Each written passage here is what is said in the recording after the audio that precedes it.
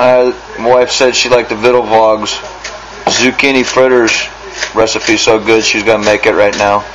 So I'm gonna make this video real quick and post this video response.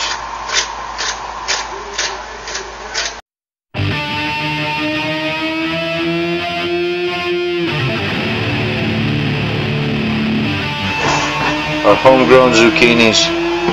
I pulled the plant. Wife has to add some lemon zest to it just for grins. Do things her way.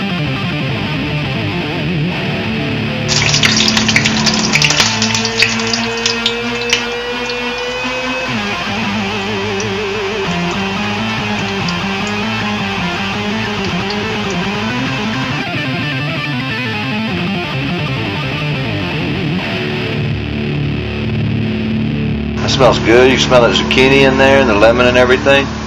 Can't wait to try these out. That looks good, guys. Go try these out. It's hot.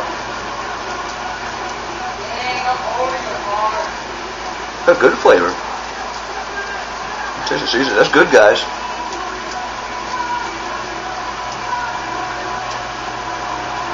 That's good, babe.